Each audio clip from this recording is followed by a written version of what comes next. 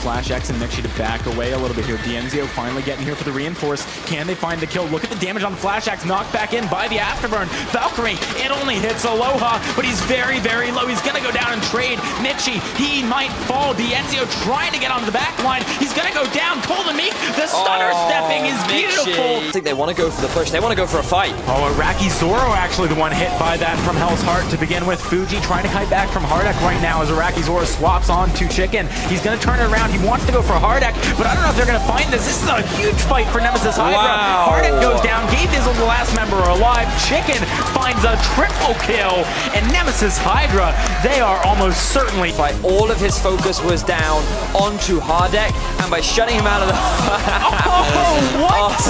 Oh, I can appreciate that, but it makes me happier. I Hell's don't want you carrying me. Hell's That is hot. going to be some good damage coming across onto Hardek. Fuji trying to run in here. Game Gabe Dizzle doing the damage He's on the still back line. alive. Silence. Oh, chicken one, two, three. His verse He's got still canceled. alive. Fuji lets Oh, a the scout scout trap. trap. going more towards that utility sustain sort of itemization. They set up the flank. Oh, Fuji, this time he gets hit from Hell's Heart yet again. Can't Oh, see it he's coming gone. out of the bush, but Hardek, he's quite low. Iraqi Zoro is still very healthy right now, using that Rose offensive, getting auto attacks off onto everyone on the side of Nemesis Hydra. That's going to be Hardek going down. Gabe Dizzle might fall, but Iraqi Zoro looking to clean this one up. He's one He's versus one it. against the Roamer. He should be able to find Lost Voitoff. He's got that big shield. It's going to be a oh. kill. Oh. Iraqi Zoro with the ace. Sit back, there, dodge a poke, there, Stun. Zoro poke. Looking for the stun, looking for the burst. That's going to be a death from above. Blocked!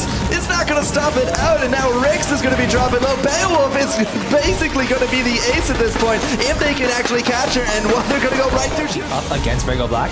And here we have a fight. Now, who's catching who? We do got that turret right there. It is going to be actually into play. Big stun on top of Fuji, but the turret is just not going to be enough to oh. bring him down. There goes the captain, and the Bangarang goes in deep. Rix is going to actually use the Rose offensive. He has that reflex, but it's just not enough, and Fuji Oh, just throwing out those Winter Spires, but Veins wants to turn this one around, maybe go for the engage. Dienzio looking at the damage, already half health on the Mixi. There's the damage out of Aloha. Oh, he's Great gone. afterburn, but Dienzio, he's got to be careful. He silences Koldamik. No he gets a kill. He's not going to go down.